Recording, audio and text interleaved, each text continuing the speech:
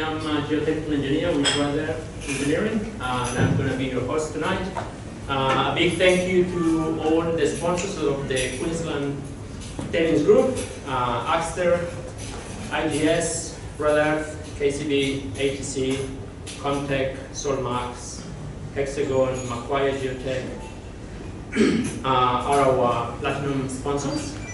Our board sponsor is SLR. Um, we have three presenters tonight uh, to discuss the topic of numerical modeling in uh, tailings dam engineering. Uh, we have Dr. Arenas, Dr. Lee, and Dr. Karmaja. Uh, we're going to kick off the session with Dr. Arenas' presentation. Dr. Arenas is a civil engineer with more than 23 years of experience in geotechnical engineering. He has led important geotechnical and structural designs such as concrete face rock dams, mechanically stabilized earth walls, waste dumps and tailings storage facilities. Additionally, he has assessed slope stability and liquefaction potential for a multitude of projects. He has conducted seismic hazard analysis, including spectral matching of real seismic events, and has conducted several dam break analyses. He has been the leader for numerical modeling in the civil and mining sectors, having developed his role in South America and Australia. He has led a multitude of analysis using FLAC and FLAC 3D, modeling static and dynamic conditions. He has assessed uh, liquefaction potential and cyclic action using advanced constitutive models. He has been a leader in developing methodologies for delivering numerical in a reasonable short time and at a reasonable, reasonably low cost. Uh, finally, he has developed a standalone software for processing high efficiency meshes for FLAC and FLAC 3D within a few hours. He has worked for different client sectors, including numerical analysis for NASA, forensic analysis of civil structures and investigation, governmental institutions, and important mining projects. Um, please welcome Dr. Arenas.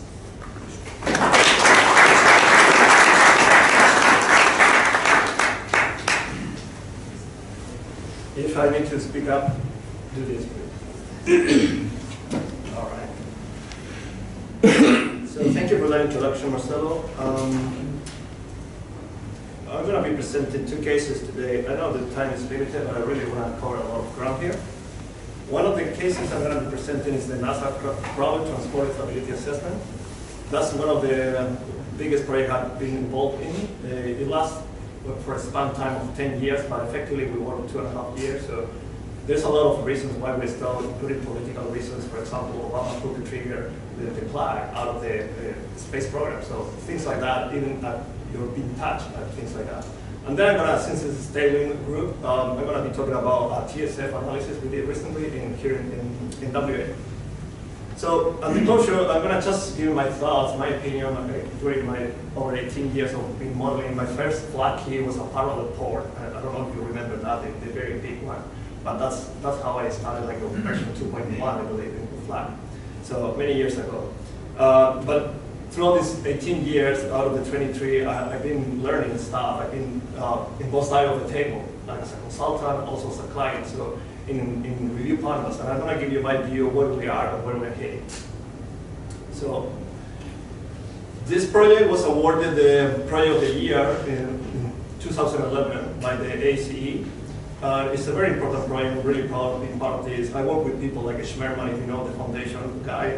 That kind of guy was involved in this project. So NASA approached my advisor, and he, he was asked, uh, can we move the crawler transporter faster? That was a simple question, and it was really uh, an answer that took about 10 years to answer. So the thing is, this is the crawler transporter. In this case, it's carrying the Challenger with the auxiliary rockets, and it's the, the, the rocket is assembled over the crawler in the assembly building, which is nine miles away from the launching pad that is seen at the back. So the crawler moves in average at about 0.1 miles per hour. So nine miles is covered in 90 hours. So for NASA, that was a big spend of money because each corner of the crawler is controlled by a team. So they need to reduce that. So they pretty much ask, can we move it three, five, three times faster, like at 0.3 miles per hour? Uh, and also, let's say at that time we're going to go to a new space program, which is going to involve more load.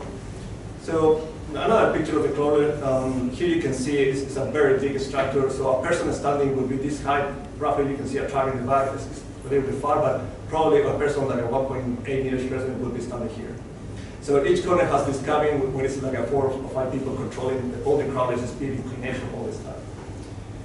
So in 2008, when my professor was approached, my advisor was approached by NASA, that's today, 2008. So they were carrying this crawler with a rocket on top of it, and it was weighing 18 million pounds. Uh, everything is in pound, inches, and everything like that, so bear with me for the presentation.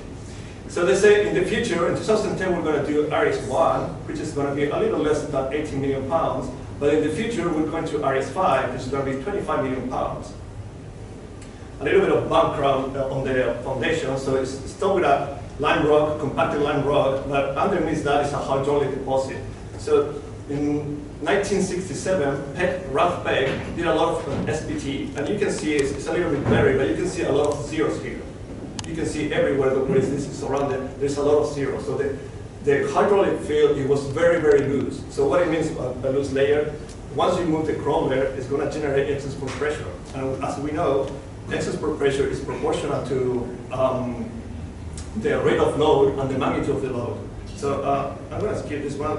I think this is another one. First, this is the first one we, we did um, initially. So back in 2008, we, Ralph Peck, into, sorry, we used the information that Ralph Peck developed at that time.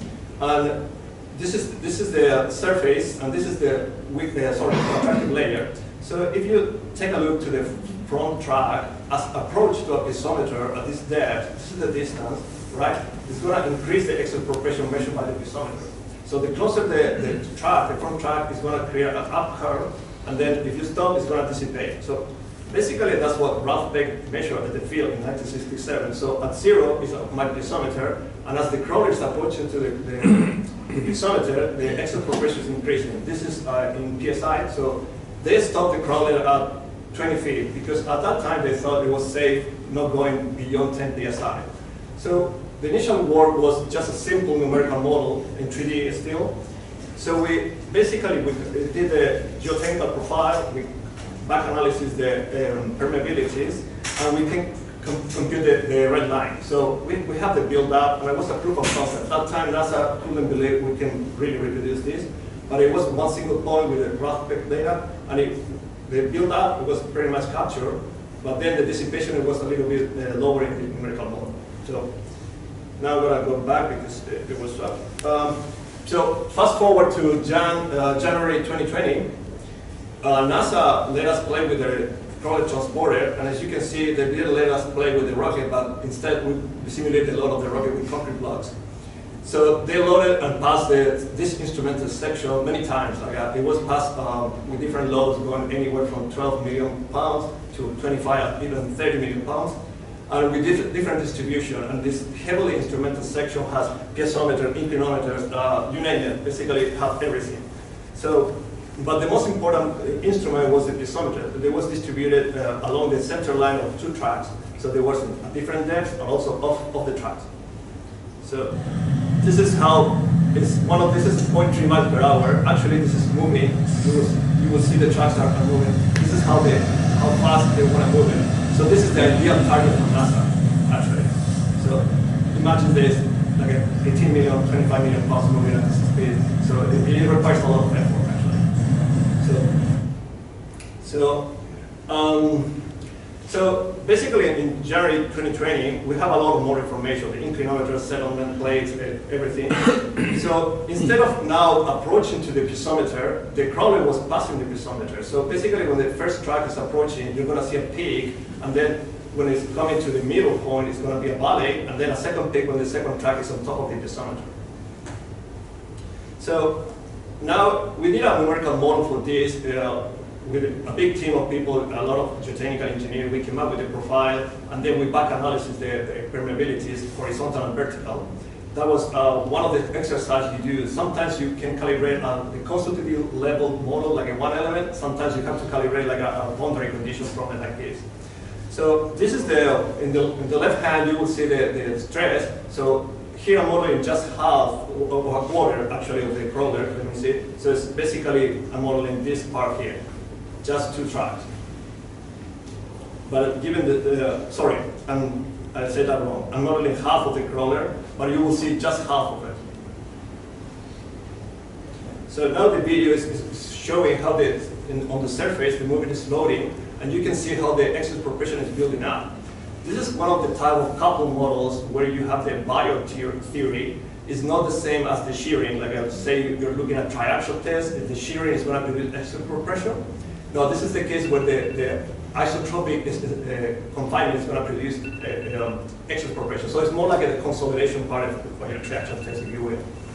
So but then it's not, uh, this is a couple, so it, it was a silty sand, this material, so it's not like a fully undrained or fully drained, so it's some, something in between. You, you saw the, the um, initially the, um, the dissipation, it only takes five minutes to dissipate 10 psi, so it's really like a, in, those areas like a 10 to the minus 4 centimeters per second. So uh, the gray lines now are the field measurements, and the orange or red lines are the FLAC model. So here's one track will be one track is standing here, the other track will be standing here, and this will be the symmetry plane. And the other side will have the same. So I'm looking right from the, the crawler transporter.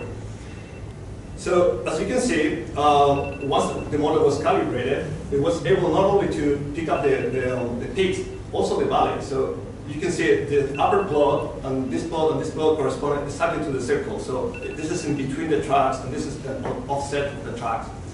So once the model is calibrated, and if you understand really well how the, the couple theory works, you can come up with a solution that actually we were really nice, nicely surprised to have not only the peaks and the valleys, but also the shape. You can see that the peaks and the valleys, the difference is much smaller than when, when it's right underneath the track and closer to the surface. So another uh, four points here, you can see again we were calibrating and the response is very much in the, the shape of what was measured in the field. So some of the, them are smaller in the field, some of them are higher. We just pick the, the, uh, the higher response of the field.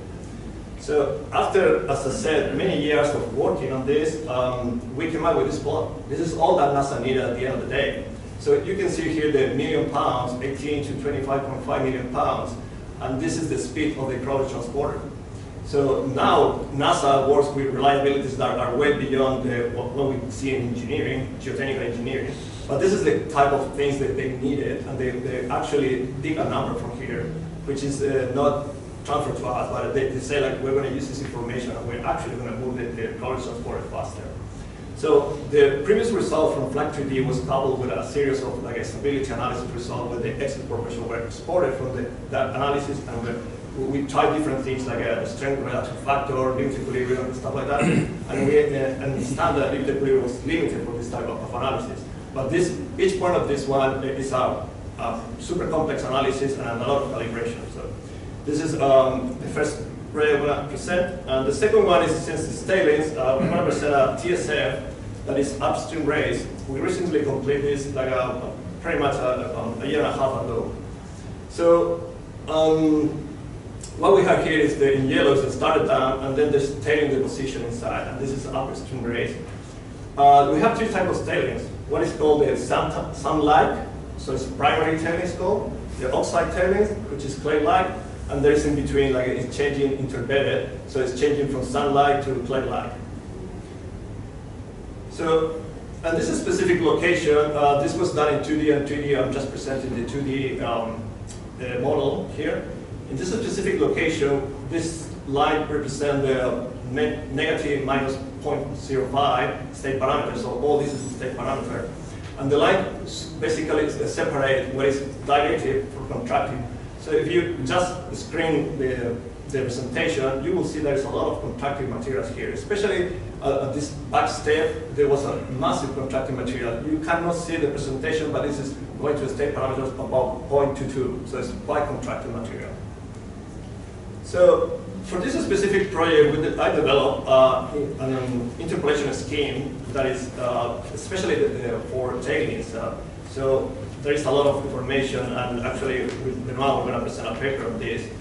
Um, but one of the advantages you have this, whoever has used before the CPTU spreadsheet, you have to assume a K-naught condition, right? You, you assume, say, usually like Mike Jefferies or anyone, you will say like 0.7. Uh, the advantage of interpolating this within the environment, the numerical environment, in my case, FLAC, you don't have to assume the K-naught condition. And as we know, K-naught condition changes from whatever we assume, say, by Poisson, to when you approach to a slope to close to one. So, and you know, you, you have to do uh, that because you want to compute the Q key. So what we did in this case, we just take this and with the special scheme we developed, we interpolated the state parameters. So now each element in the, in the model has a different parameter. So this is a refinement from what we do usually in limited equilibrium, where you do, for example, some statistical analysis and you take a percentile 20 or something like that. So in this case, we're taking advantage of the tool and we're just actually interpolating everything. So these are the equations that, that developed by Cruz and by Jefferies, and we just came up with this. So you can see the what I just showed you before. Oh, sorry, this one here, this and this are very well captured here. We have these tailings that are very contracted. So in order to do this, uh, we did a dynamic analysis for this, and we calibrated uh, one of the conceptive models that is built in FLAC 3D. It's called P2PSand. And the beauty of what we learned is, well, I studied this, this model for quite a long time, about six months before trying to use it. Uh, so we were waiting for a project like this. And the beauty, in my opinion, uh, I'm really fan of having one set of properties for undrained, undrained, and for covering the entire range of stresses. I'm really a fan of that. I mean, in my experience, sometimes people try to do um, a parameter that's dependent state for P prime or, or, something like that, like it changes. But uh, when you extrapolate things, um, it's really dangerous because in triaxial, we, we really know the stress path, right? We know the stress path is doing this or that or strain, whatever. But when you put input a seismic signal at the bottom, the stress path can be anything. So extrapolating those parameters with something that's dependent on some unknown that you haven't tested in the range is very dangerous. So in my opinion, I really like having one set of properties for drain and undrain. And I think we, we made it really nice here. The blue lines are the lab testing, and the green lines are the one element model to the consultative level. So you can see it more contractive, but there's also the orange here one that is uh, the FLAC, and the red one is the testing. So we can actually capture, this is a K-naught test, this one here. Um, we can actually capture very contracting material and very uh, also dense material. And also in the void ratio P space, you can see it, uh, uh, it's reflected. When it's on it's a little bit, you can see my line drops faster because it's more contracted in the training space. You can see it in both space, so it's very consistent. So we spent quite a lot of time learning this, and I think it paid off. So what I'm going to show you now, it is the um, the model subjected to a seismic signal. So at, at the upper image, you're going to see the excess per pressure is normalized between 0 and 1. So anything red is, is kind of totally liquefied. In the middle, you're going to see the shear strain, and then at the bottom, you're going to see the displacement. So this is, um, so uh, I forgot to mention this, but the, the, real inspiration for this, for the client for paying off this, it was the buttress was super big. So this is the case without the buttress. So now you're to see, oops. Oh, go. The video is not working. More technical issues, I guess. Okay, there's supposed to be a video here. How it's not working. I don't know why. Um,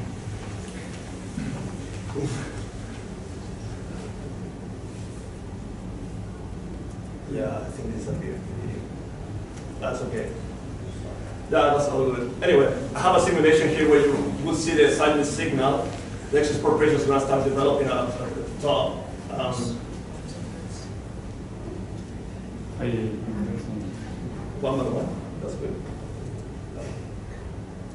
No. Uh, there we go. Thanks, Marcelo. Yeah. So as you can see, as the signal, this dynamic signal is applied the bottom, I mean, the, the tail is that this guy is the, I lost the pointer, but uh, this guy's here, they start to develop excess pressure. And as, as soon as the excess pressure soften enough the they start to develop some shear strain, and therefore, then later is the deformation. You can see also the deformation is controlled by the, the layers are liquefied. So this is um, this is in real time, it's like a one minute uh, earthquake. I'm gonna just um, skip this part. I'm just gonna go to the final one. So at the, at the top is, is the no buttress condition. At the middle is the buttress design. You can see fairly, this is the starter dam. The starter dam is here also. So this is the buttress design with a limited equilibrium, and then the buttress optimized by using FLAC uh, 3D in this case. It was a 2D section, but it was still the environment was in FLAC 3D. Um, you can see obviously that the facility was not safe without buttress, and the facility was much, much better with the, la- buttress defined by the limited equilibrium. But after we optimized the buttress, we reduced the height because we understand the mechanism behind this, uh, all the kinematic behind, this. And actually, the, even at, the top, it was even better. So, and why is that? Because we allowed some deformation to happen. In this case, we were capturing the deformation, and this was anchoring the deformation to the base.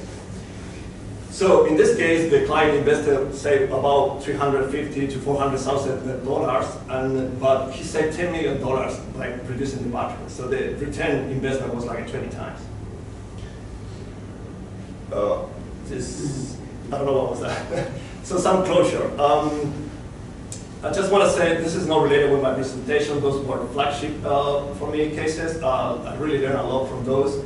But I really want to kind of um, my, my thought on this. Uh, numerical model is not a tool. It's not a solution by itself. Uh, I've been, as I said, in both sides of the table, and sometimes people have told me like, uh, this is what the model gave me.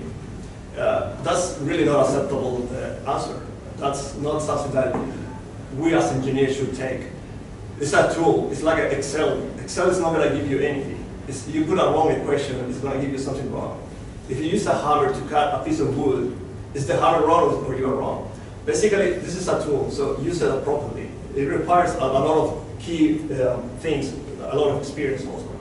So, uh, if, if, ever, if we ever work together, don't tell me that it was what the model gave me. It's not a black box. I mean, you can do a step-by-step closed-form solution. You can validate all the steps throughout the, the, the, analysis. It doesn't have to go all the way from the beginning to the final report and say this is what the model. There's a step in between you can do.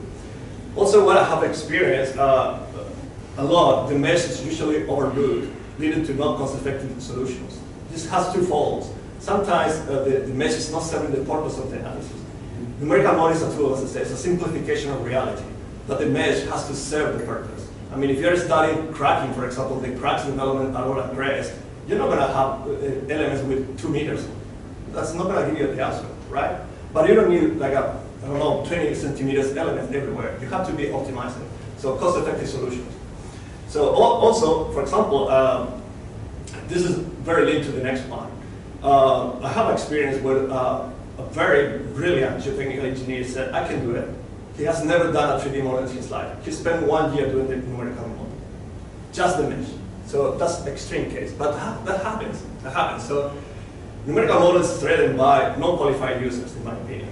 A lot of people say, oh, I'm a great geotechnical engineer, and I know a lot of them, but I think it requires a lot of experience, especially experience, knowledge, the tools and the hardware. Tools and hardware we can buy it, right? Knowledge, pretty, pretty much all my colleagues have very good knowledge. But experience, I have been doing this for 13 years. The largest model I have done is 13 million elements, and I ran it. It, it didn't fail. It ran for eight days consecutively. But, but it's a very large model. So when somebody asks me to do something in 3D, uh, I have a lot of experience. I don't want to brag about this, but it, requires experience. I sweat a lot. I sweat a lot of blood. I sweat a, a lot of this. This is my passion. So um, I, I, learned how to do it properly. Apparently, not an added value. Some client says this is an academic exercise. It doesn't have to be. Uh, we can produce the bread and butter. It's not everything like a, to that level the NASA project. It can be like a $20,000 analysis. It can be really, really like an initial concept. And if you're ever going to hire somebody to do this, ask for information as much as possible. Ask for the portfolio. Have you done this before? Have you done something similar? If you're not, ask for TCBs. How are you going to approach? Is the methodology? What, what are you planning to use? How are you going to do it? Really, presentation. Ask, ask, ask. Because I mean, uh, I know there's many, many people right now using like a clicks, clicks here, click there. Especially with the current software, you can click a lot and you can get really colorful maps, but they're meaningless sometimes. Okay. So with that, conclude my presentation.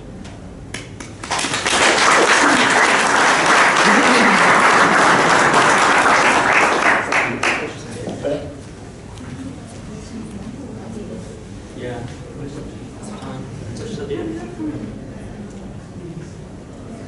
Uh, okay. Okay, yeah, no, so we do have some questions. Uh, sorry, some time for questions? Uh, yeah, so no, if you guys have any questions for Alfredo, please uh, go ahead. There's a question here? Uh, uh, I'm from ITC Yeah, just would like to ask you, normally for FLAC 3D, how many elements you think that is reasonable to establish a model and to run the earthquake? How many elements normally? Oh, my rule of thumb is like if you go beyond two million elements, you're gonna have a problem. Uh, because the time steps is crucial in, in FLAC 3D. So uh, yeah, use a tool for making the mesh uh, compliant with some time step reasonable. And then beyond two million, million elements for dynamic is gonna take some time. I mean, it, can take like over a week. So, but, but two million elements is my rule of thumb. Thanks for the presentation. For the dynamic analysis that you mentioned, how you calibrate the damping, damping factor for You don't. You don't. It's something that is, that is in- embedded in the, in the, in the rod. You can minimize the, the overdamping, but you don't calibrate that. It's just, uh, you know, hysteretic loop is going to give you whatever it, it is built in the, in the model. So, yeah, new current models, like a boundary bounding type of models, they minimize that. They're not overshooting like before, like uh, for example, uh, UBCHYST or UC, no, sorry, UBCHYST, UC SAN. UBCSAND used to like uh, overdump everything. No, the current model are much better than that. Do you use also absorbing boundaries? You able to, Sorry? you use also absorbing boundaries? For dynamic analysis, yeah, you have to use what is called free field and, and uh, it's quite. Yeah. Thanks. Although there is people that use fixed uh, boundaries, that's that's tricky. Just adding a comment there. With respect to the mesh size and the dynamic analysis, you really need to be, it depends on the shear velocity, the, the minimum shear velocity of the material that you have there. And in order to have a proper wave propagation through the foundation, through element, you need to minimize the size, otherwise you won't get a proper wave propagation. I agree with him, two meters, we, we sometimes get to one meter, depending on what you're modeling. So, Yeah. And with massive modeling it takes ages, especially with long earthquakes. So Yeah, that's, that's absolutely true. And, and, and in addition to that, some people justify the models because they say, I've got the same PGA as the seismic hazard. And if you're using 0.5 meters, for example, naturally the model is going to filter out all the high frequencies. So PGA doesn't make any sense. So, so there's a lot of things that you have to learn to do this properly. I totally agree. There's one last question over there. In the first example, you had, um, you had a really strong peak response model, and it was much more muted on what you measured in the field.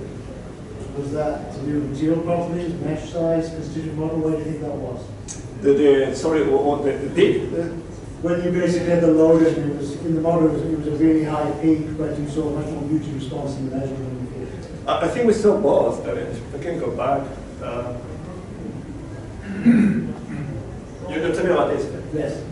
So yeah, uh, in some cases it was the difference between the peak and the valley was quite significant, but in some cases it was very uh, small. But the, the orange is the numerical model, so it basically was capturing uh, the, the shade in everywhere.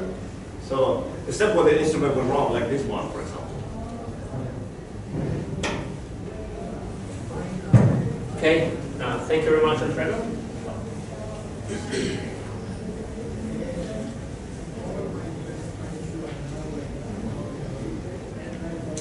Okay, next we have Dr. Dr. Lee. Um, Dr. Lee has over 30 years of experience in numerical modeling in geotechnical engineering throughout his academic and consulting career. While completing his PhD research, he implemented constitutive models, including a critical state soil model into a FINA, element model, element code, and optimized the code for high performance computing on a Cray supercomputer. He is a pioneer in using HPC for numerical modeling in geotechnical engineering. His consulting experience includes geotechnical, geoenvironmental, hydro, hydrological, geological, hydrogeological processes and closure aspects of tailings and mine waste management. His experience in tailings was developed from working in projects in Australia, North and South America, Caribbean, Asia, and Europe with different climate and seismic conditions. Dr. Lee has developed a series of theoretical models to model the tailings deposition, subaerial and subaqueous, consolidation under self-weight and desiccations under climatic conditions.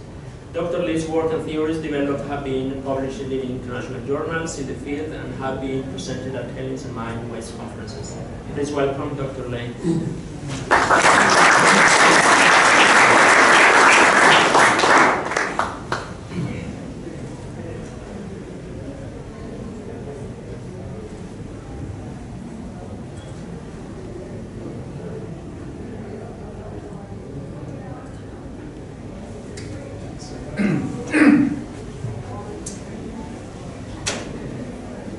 Yeah, thanks, Rosario, for the introduction. Um, tonight, uh, my topic is on the, of advanced numerical uh, modeling for tailings dam safety management, and what um, we can achieve a numerical modeling technique.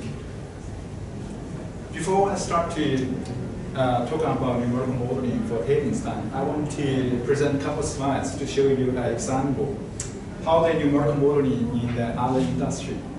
Um, this is an advertisement I took from the Engineer Australia Create magazine, which shows the car uh, simulations and uh, um, you know, car crash simulations use uh, M methods.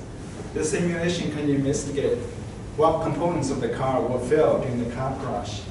And also they can produce uh, the realization of the situation and from the driver's perspective. The numerical modeling also has been used uh, to investigate the potential uh, impact of um, human bodies uh, using computational uh, models. This shows how far the leg is going to stretch and then the impact pressure on the, on the brain and the deformation of the abdominal areas in the case of the frontal crash. As we may know, the use of uh, numerical modeling to improve car safety design uh, has been a routine practice for many decades. And numerical modeling is also very advanced in aerospace industry as well as uh, medical science. Compared to our colleagues in the manufacturing industry, um, we are a little bit behind in this space. Uh, however, numerical modeling for geotechnical uh, engineering has uh, come a long way from use uh, uh, symbolistic model to the development of uh, advanced uh, constitutive model for nonlinear analysis. In this short presentation, I will uh, present a few aspects to use numerical modeling to improve uh, dam safety for tailings uh, management. First, I'll give a brief introduction of the technical challenges and the tools available, and I touch on the limitation of the limited, limited equilibrium analysis, and followed by a brief discussion on the importance of uh, nonlinear numerical modeling. Then at the end, I'll give a few examples of uh, numerical modeling for static liquefaction and seismic liquefaction uh, issues and as well as some details on model calibration. We often forget tailings are not natural deposits like soil which are given. Actually, we are cre creating the tailings deposits. We have the control if we know the physical process of the formation of the tailings deposits and the resulting um, properties. Here is a list of the physical process, in addition to your milling process and the process plant, which we don't have control.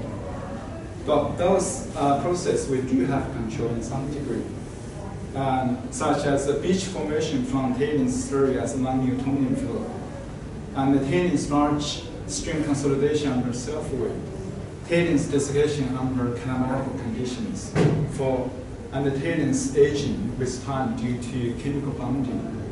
Tailings creep with time if it's uh.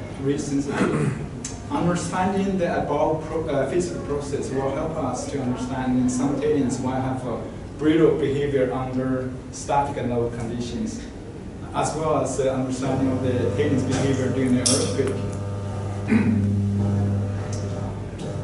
to uh, tailings, to prevent tailings dam failure, we also need to um, uh, understand the failure mechanism, including um, the failure mechanism under static loading conditions, such as static liquefaction or strain softening, or progressive failure or foundation failure. Failure modes under seismic loading conditions, such as excessive uh, deformations or dam failure due to liquefaction. There are tools available for design or operation of the tailings dam, including limited equilibrium methods and the physical modeling such as large-scale field testing or shaking tables or centrifuge testing. And the numerical modeling such as uh, static uh, modeling or dynamic modeling. Uh, the nonlinear numerical modeling with uh, good geotechnical investigation remains the most powerful tool we have for dam safety management. Here a few aspects to explain why nonlinear modeling is important. Dam stability is crucial to ensure safety uh, of the downstream community and the environment. Nonlinear numerical modeling is more robust than limited equilibrium analysis, and it allows us to simulate various failure scenarios and investigate different failure me- mechanisms under different conditions, and also help us to identify potential mitigation measures and optimization of the design. It enables us to trigger established trigger levels for dam safety monitoring, including deformations, pressure, and ground acceleration monitoring. It enables us to assess embankment deformation to prevent loss of a freeboard during earthquake shaking. From the regulatory and the best practice perspective, as we know, most regulatory bodies require dam owner or operator to perform detailed stability assessments as part of the dam safety regulations. And numerical modeling provide a rigorous approach to meet those uh, regulation requirements. From the cost perspective, conducting physical uh, testing on tailings dam can be very expensive and time consuming. Numerical modeling provides a cost-effective alternative to investigate or to assess the dam performance under different conditions. We often too much rely on the, on the limited equilibrium analysis without adequately addressing the limitation of the method we're using. Those limitations, such as uh, the limited equilibrium uh, analysis, does not allow for consideration of the strain compatibility, and it's limited application for complex uh, geometries and the com- complex uh, variability of tailings properties. And it does not address progress failures. It does not address uh, dynamic effects due to earthquakes. It gives us the shear stress along the slip surface, but doesn't know where the, it sits on the stress strain curve. For example, if the stress sits on the right side of the curve in this figure, it's probably safe. But if it sits on the left, sorry, if it sits on the left side of the curve, it probably is safe. But if it sits on the right side of the curve, it will be unsafe. Detailed investigation of the high-profile tailings dam failure in recent years has demonstrated the usefulness of the numerical uh, modeling to investigate the, the failure mechanism of the tailings dam, such as the FLAC modeling for Fundão tailings dam by Morgenstern et and for the Brumadinho tailings dam by Robertson et al., and for Cadia tailings dam by Jefferies et al. I don't want to get into the detail of those reports. I'm sure you all read them. But instead, I would draw your attention to a less well-known report by CIME, no, CIMNE, for the investigation of the tailings dam failure.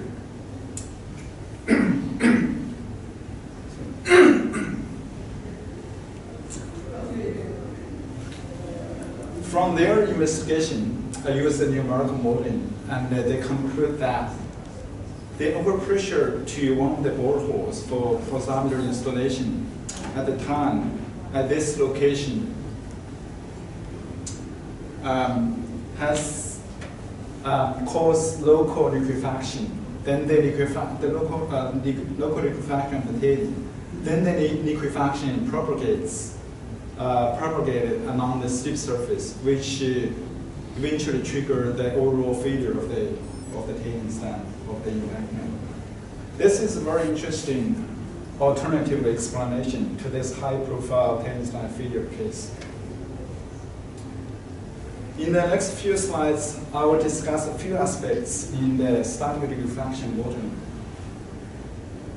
Um, As we know, static, static liquefaction may sound a little bit uh, mysterious, as it occurs uh, suddenly without precursor warning. But I would like to quote what Dr. Ken Been said many years ago. Liquefaction of the soil is a well-documented phenomenon, frequently resulting in catastrophic failure and environmental damages, uh, financial losses, and deaths. What seems less well uh, appreciated is that the liquefaction is simply another constitutive behavior of the soil that can be understood in terms of uh, accepted in physics and mechanics. The key point is that when you shear the soil into large strain, the endpoint is going to be on the critical state line, as shown in this state diagram on the right. In the void ratio versus log uh, effective mean stress space. The soil, if the soil is above the critical state line, it's uh, contracted will have a brittle behavior. Soil significant bri- below critical state line is dilated, a ductile behavior during undrained shearing. There are many ways you can design the dam to against the static liquefaction failure. But this is the example of the design approach we propose to prevent static liquefaction failure of tailings dam, in, involving those uh, following steps and summarized in, uh, in this flow diagram on the right. In the, one of the steps is uh, advanced numerical modeling uses a critical state approach and the NorSand constitutional model. In the numeric modeling, the first important step is to calibrate the constitutional model parameters. To calibrate NorSand parameters, we can carry out a series of triaxial, drain and undrained tests on reconstituted uh, samples. For this case, and we did it for both silty tailings and clay tailings. As uh, you can see from those figures uh, of the lab test results, the critical state line for those tailings are well defined using linear correlation. The NorSand uh, model can produce the results close to match the laboratory test results, as shown in this comparison of the model prediction to the tailings response um, during triaxial sharing in uh, respect to the stress path, stress strain curve, excess pore pressure development. As you can see, the NorSand performed very well to describe the strain softening beh- behavior of the tailings. The second step in the numerical modeling is uh, to establish an elaborated numerical model. This shows an example of the FLAC model we, uh, we set up for a up, upstream waste embankment with uh, refinements to account for the variability of the uh, property in vertical and horizontal directions to reflect the field conditions. And typical numerical uh, modules uh, steps will involve the simulation of the structural line construction and the tailings deposition and the previous embankment raises to set up the initial conditions. And then we can carry out the deformation analysis to model the construction of the proposed raise or the batteries is applicable uh, or the future tailings deposition. The final step is to evaluate the results in terms of excess pore pressures, uh, shear stress or shear strains and deformations. This figure shows uh, the excess pore pressure response to, due to the uh, proposed release. As you can see, the maximum, maximum uh, developed in the critical zone, the location is far from the location of the embankment itself. Uh, this figure on the right, shows uh, the stress redistribution due to the strain softening of the soft tailings, where the upper stiff tailings taking uh, most uh, the shear stress to support the areas and the tailings deposition. The numerical model is also robust to uh, in identification of the failure mechanism. Uh, this shows an example of a deformed mesh, exaggerated deformed mesh. You can see visually to see the slip surface through the upper soft tailings as well as through the lower soft tailings layers. And it comes with naturally if you you're doing a numerical analysis. There are a few points can be summarized on static liquefaction modeling. The stability of the tailings line due to potential static liquefaction can be assessed using a rigorous approach within the critical state soil mechanics framework. Well-calibrated numerical model is a uh, robust and important tool that can be used for dam safety design and uh, management. Thorough geotechnical, geotechnical investigation and the tailings characterizations are important to provide input parameters for numerical models. In the next few slides, I will briefly talk about the nonlinear dynamic analysis the in seismic design for tailings dams. Tailings characterization for the cyclical behavior of the material during the earthquake is the first most important step to, for the nonlinear dynamic analysis. This shows uh, the cyclical resist, resistance of uh, a gold tailings and determined from the um, cyclical simple shear test in the laboratory. Um, plot as cyclical resistance versus a number of cycles to trigger spontaneous liquefaction. The upper curve is from the test without static bias. The lower curve is uh, for the test from the static bias. As you can see, the static uh, bias can significantly uh, reduce the cyclical resistance of the tailings. With the lab test results, we can calibrate the constitutional model. this shows uh, the model, the use of the, this particular uh, constitutional model really can capture the onset of the liquefaction. Also produce uh, results close to this, the stress path and develop of the uh, development of the excess pressure for this test at the CSR of uh, 0.2 0.15.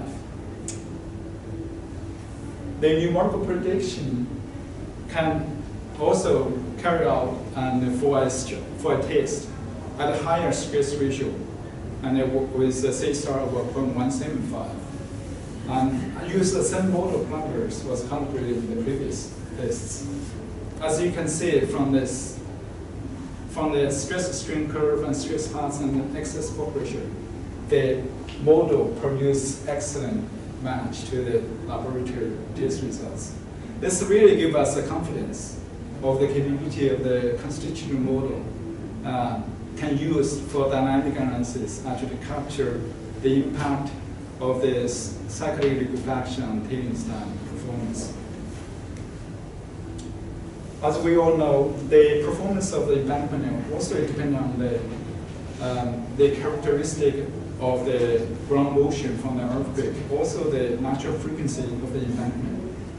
Uh, for example, the shear wave will may amplify when propagating through the embankment if the, the natural frequency of the embankment is uh, very close to the dominant frequency of the ground motion, as shown in this figure.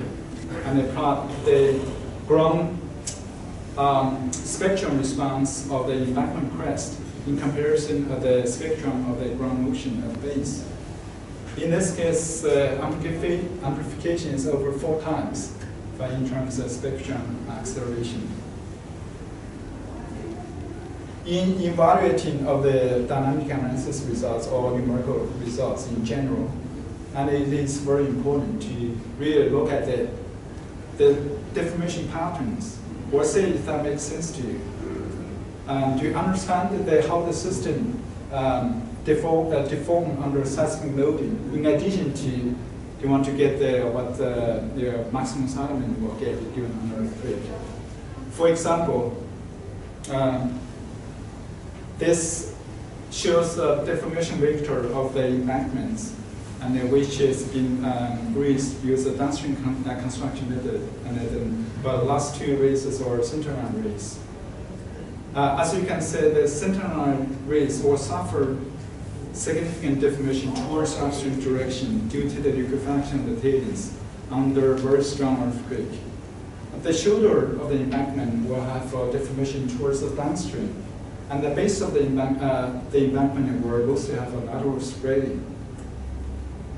Understanding the, uh, this uh, deformation pattern, we may uh, to optimize or, or change the design, really increase the seismic resilience of the embankment uh, in case of the high, the strong earthquake. For this case, we may propose for the downstream raise instead of upstream raise, we put an arches at the, at the top and then to confine, uh, confine the, the movements. A couple points can be summarized based on above. The current available uh, constitutional model can realistically describe tailings uh, beha- uh, liquefaction behavior of tailings, particularly hard rock tailings during cyclical shearing. The nonlinear dynamic analysis is a powerful tool which can pre- predict seismic deformation and, the- and the deformation pattern of the embankment under strong earthquakes. Thank you very much.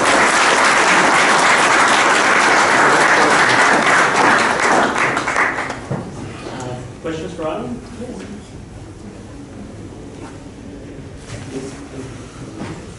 And not, see, when you do the numerical model, you get the information at the end of the earthquake. How we evaluate, is it the dam site or identify any potentially high structure happen at the dam? What's the key index you pay attention to? Is it the shear strength, the tension, or the settlement differences? Especially when we evaluation the filter zone, which is generally very thin. Yeah. Yeah, that's yeah very good. I don't know if it's comments or question. Uh, yeah, so you you evaluate uh, yeah, especially for filter zones and uh, the deformation, the magnitude of the deformation will, will give a good insight how is how much it's going to have an impact on the filter zone. If your filter is wide enough, if you have an upper spreading of uh, three meters, but your filter is only one meter width, you may not, you know, to uh, the, uh, after even the embankment is stable, but uh, you may have uh, have issues in your after earthquake. And uh, there are there are many indications. Okay, and in terms of the shear uh, strain, the strain pa- patterns were also very important to look at. If you mostly uh, if you have uh, your large strain develop, and uh, that's that's an indication of uh, your the stability of the embankment. I don't know if I answer all your on your question. Yeah, yeah, Yeah, so there's a, you look at the stress, stress and the deformation pattern. Very, that's a very good uh, um, you know, to way to to see how uh, the embankment will perform under seismic uh, events, and uh, and also look at the posture, how the posture is going to develop. Because for most uh, the the you know, the sites in Australia, you may not really ex- expect a very large earthquake. So you may not complete uh, the tailings may not may not liquefy, but however you may still develop excess pressure, and and uh, we you may have uh, post uh, post earthquake uh, summaries. So something, yeah, but those will give you some insights, some useful results. What is the magnitude of shear strain you think that we start worrying about I don't think it is universal uh, for uh, for seismic uh, case. Um, it's uh, you might have uh, you can have a, a torrent and large strain because uh, um, it's uh, it's a dynamic, and you know, it's uh, from the, it's not as um, uh, so during the earthquake, the the tailing, uh, the uh, embankment will yield. Most of the deformations come from the yielding of the. So if you have a yielding, you will have a larger strain. Uh, it's not like a static and a static case. And if it's significant yielding along the slip surface, you, know, we, you may have a problem.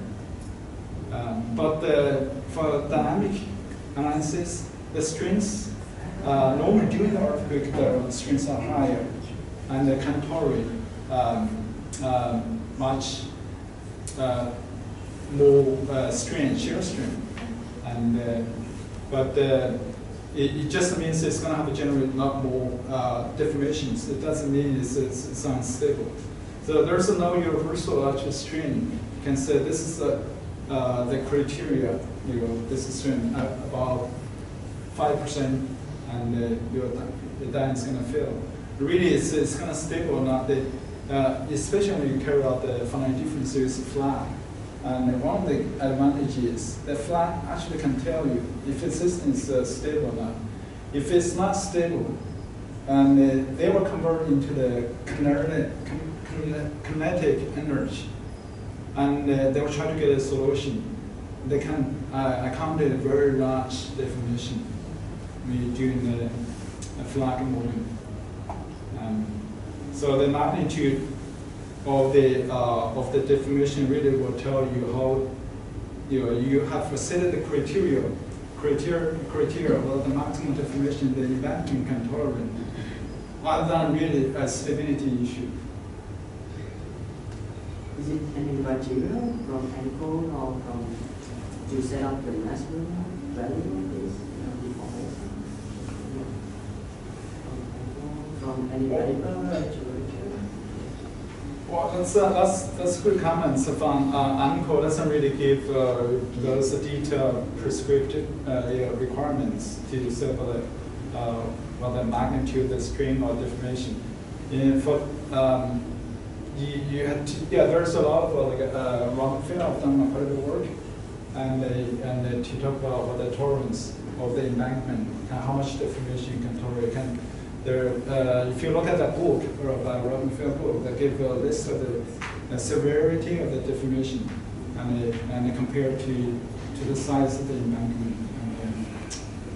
Uh, um, yeah, there's some some uh, probably in the in, terms of code and guideline, there's uh, there's still a lot of uh, area need to be developed more in details. Thank you.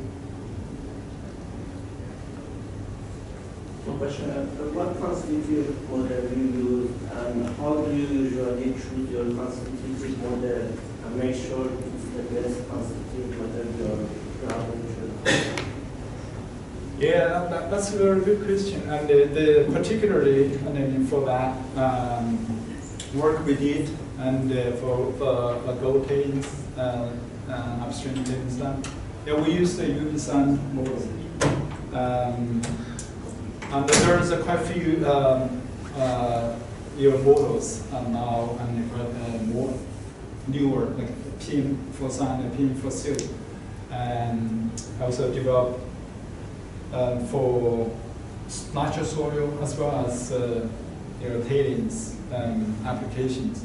It is uh, sometimes uh, um, it's uh, it's a little bit personal cho- uh, choice. You read all those papers. The the, the, you, the first one, you very important thing you need to look at is what model you should use. Has the, this model really calibrated?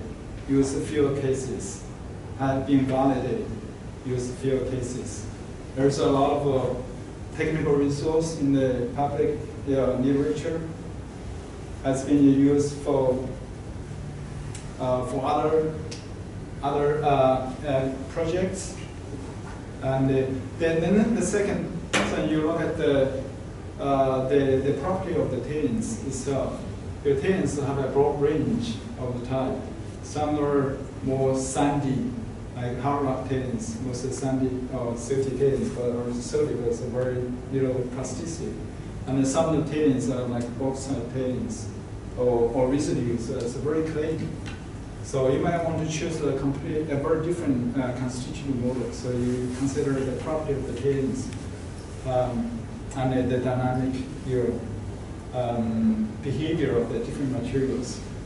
So there, I don't think there is a, particular say which model is better than um, the, this model is better than that, that model.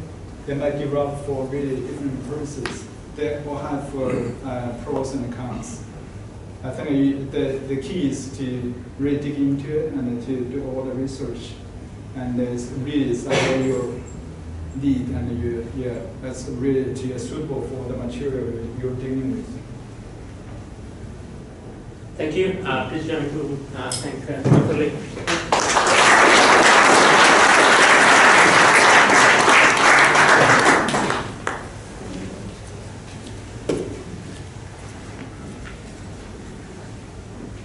Okay, last but not least, uh, we have uh, Dr. Ghahreman-Nejad. Um, Behrooz is uh, ATC Williams Chief, uh, Chief Technical Officer and has over 30 years of experience as a consultant, researcher, and educator in the civil, geotechnical, and mining engineering fields with significant emphasis on geotechnical and water management aspects of tailings retaining structures. Dr. Nejad is also an honorary senior fellow at the Department of Infrastructure Engineering at the University of Melbourne. His research, his research expertise encompasses the application of a comprehensive range of experimental, physical, and theoretical modeling techniques in geomechanics. Behrooz has authored and co-authored numerous technical publications and lectures on the geotechnical engineering of environment dams. Uh, please uh, welcome Dr. Jagarajima.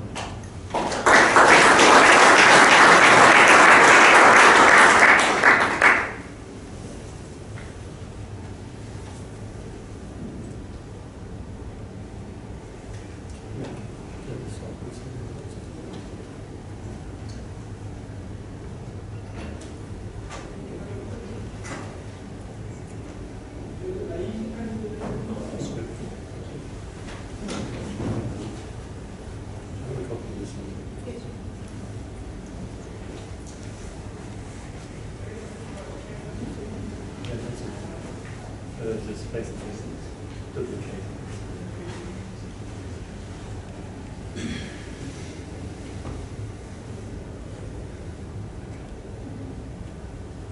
Did you copy that volume?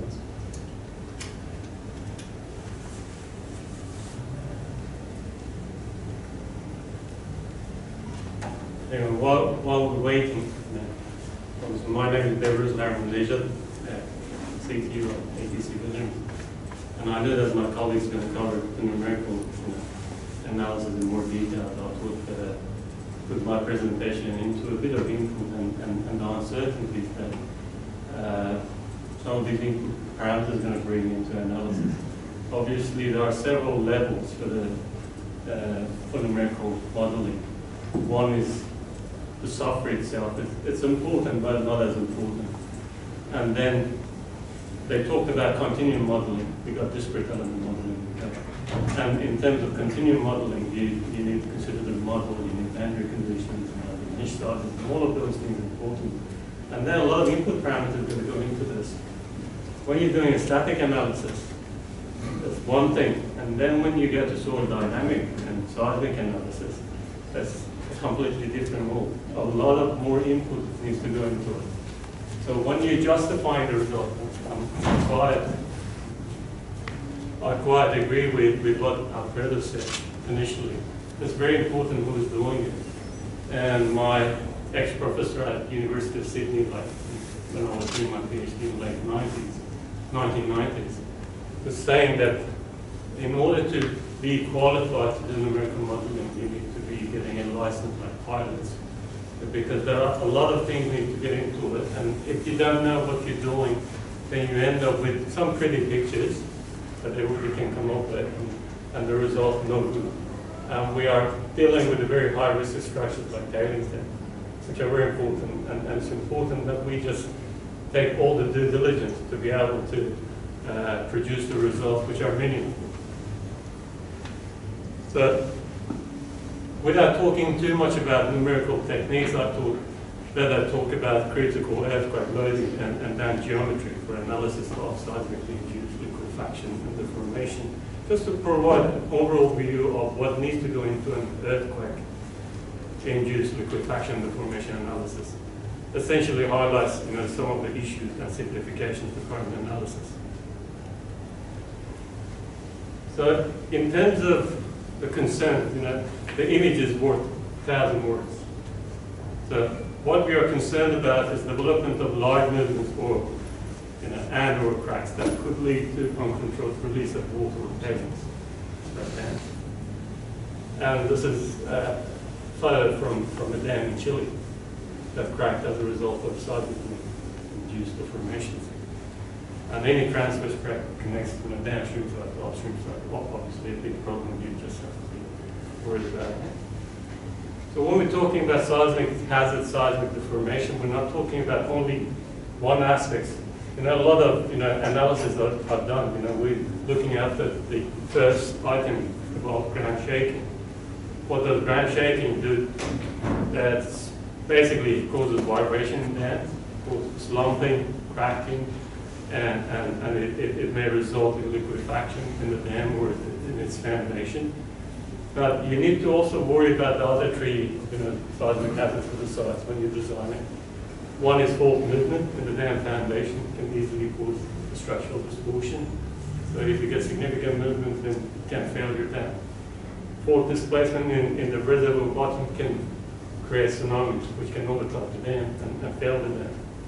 And, and the same with the rock, rockfall and mass movements as a result of the earthquake into the reservoir can again create issues of water that we'll talk to them. In regions of high seismicity, usually the earthquake load is the you know the design load, the governing load for the for the design of the dam. So what does ground shaking do? You know, it can cause settlement and cracking in the dam, as you can see, you know, schematically on, on this picture. So when the you know the earthquake load is bigger than the you know, resistance of, of, the material. Then with the first shaking, you get slumping and towards upstream and downstream, and then eventually slumping and reduction in the, in the height of the dam. And possibly overtopping, possibly you know, cracking, depending on where it just uh, where the formations are. Or it could cause liquefaction, as you know, discussed nicely you know, by uh, colleagues. And this is a cross section of the Lower San Fernando Dam, you know, reconstructed from when all of these, you know, liquefaction assessments, seismic liquefaction assessments started, all of those studies by, by Seed and his cohorts. And that failed as a result of seismic liquefaction of that hydraulically filled material in the upstream shell of the dam that we can see in this image. So there are some nice examples which I can, you know, more recent examples that I can show you that what vibration can do. So that dam, uh, Las Palmas School tailings dam, it failed in 2010 due to the earthquake in, in, in Chile, magnitude 8.8. And it, this dam was interestingly closed at the time. It operated between 19, 1980s to 1997. And, and the surface was covered by, as you can see in this image after the failure, covered by, by 15 centimeters of, of, of a clay material uh, as a cover. And you can see a lot of material is dry. You have a very nice crust at the top of the tailings. But we shouldn't be fooled by this. The, depending on the strength of the earthquake and if the, you have tailings saturated, this, this was an upstream raise there at the lower level, resulted in liquefaction. And as you can see, it, the signs of you know sand boils. If, if you're, you're seeing the liquefaction, so sand boil is, is definitely a sign for, for seismic liquefaction. You must have seen this a lot in, in, in the in the news for the earthquake in, in Christchurch and a lot of you know sand boils up and around the around the and um, clearly you know showing the rate that can tailings move. You know this moves about 500 meters downstream. So So that dam, that's Fujinuma dam failure, occurred in 2011 due to Tohoku earthquake, which was about 200 k away from these two dams. These were constructed in, uh, you know, post World War II, 1940s, around that time. And 200 k away, magnitude 9, resulted in the failure of these two dams. And there were, you know, earthfill, you know, embankments fully lined, but assumed that the, the, the web has traveled 200 k to, to get to this point and resulted in, in cracking and, and, and also uh, failure of these dams. So the failure has been blamed to you know, cracking and the differential settlement and piping failure eventually, as you can see in this image. Fault in the foundation of the dam, that's one of the you know, hazards that we need to be looking into when we're looking at the zone of embankment dams in, in regions of high seismicity. It, it can result in a structural distortion. This, this dam fell in 1999 due to the earthquake and the thrust fault in the, in the foundation of the dam. Right fault similarly can do that.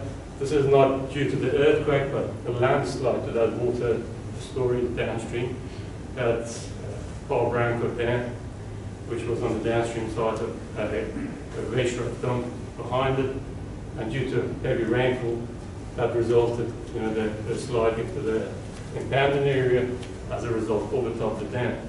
But because the storage was too small, uh, it didn't really fail the actual dam. But this is one of the things that we do when we're designing the dams, whereas we get all around the abandoned, making sure that there are not any places that, they can slide into the dam, and if there are, they need to be spared. So what we do usually to work out the load, the earthquake load at the site, just do seismic hazard assessment, site-specific sites, you know, seismic hazard analysis, either probabilistic or you know, deterministic, to establish the seismic load at where the structure is. Uh, but depending on the source of the earthquake, you may just draw a radius of like 200 k around the, where your site is and, and locate all of those historical earthquake faults, everything, to be able to integrate all of that to find out what the hazard is at the site and how that the wave travels through the ground. It, it, it depends on the, you know, there are so many attenuation functions and things like that that they use to work at what would be the seismic hazard at the site. I've been moving quickly in this. Uh, for any earthquake can be characterized by you know, three parameters, amplitude, frequency, and duration. Uh, PGAs, peak ground acceleration, peak ground you know, velocity, and peak ground displacement are the amplitude parameters. So we get a lot of earthquakes with you know, PGAs of like one, but they mean nothing because they're pretty high frequency. They have very low effect so you get a lot of that. That's why when we're looking at the earthquakes, we don't really get the, you know, those high frequency you know, motions. And frequency content is, is very important. And de deriving, you know, Fourier a spectrum that can tell you what sort of frequency content that you have in your earthquake. It gives you a bit of, better idea of what the earthquake is, is made of. And, and duration is pretty important. But if you do a you know, responsive spectrum for the site includes all of these three elements. And in, in terms of when we're saying the responsive spectrum is essentially the maximum response of a single degree of freedom structure. So imagine with different, you know, frequency, natural frequencies to the to the same to the same earthquake motion. So say that we have different, you know, uh, single degree of you know, freedom structures, oscillators in simple spring with a mass in the top. Okay, they all have different natural frequencies. You apply the same, you know, uh, earthquake or you know, motion to it, and the maximum, the peak value that you get from each of the, it defines what we call a responsive spectrum, which is very important, this one, because it gives you a lot of things, you know, that at what frequency you get you know, access, you know, more amplification compared to others. So Earthquakes are usually provided in, in the form of acceleration time histories like this. And in this case, as, as you can see, the acceleration is about 16 meter per square second, or about 0.g. g. If you draw a Fourier amplitude spectrum, well, this is Fourier power spectrum, doesn't matter. You can see the frequency content. You can see there is no energy, you know, beyond 1213 hertz. With this you that we filter high frequencies to make the mesh smaller. So you, you can see what are the, you know, the frequency content and, and where you get the maximum, you know, amplitude it is, it is called dominant frequency, but that doesn't mean anything. Earthquake is not a single, you know, point. It's all of this, which have different frequencies. And, and depending how they line up with the natural frequency of your structure, is going to cause amplification, de-amplification, of some sort. It is also important for you to, you know, to understand that there are different magnitude scales used historically and currently. Something to be mindful of when collecting and using the data. So you've got Richter, you know, magnitude which goes to about 6.5. We got moment magnitude which is more recent and everything is now converted to moment magnitude when you- they're doing the seismic know, hazard analysis. So again, when you look using the you know, input load, you, you just have to be mindful of what magnitude you're using.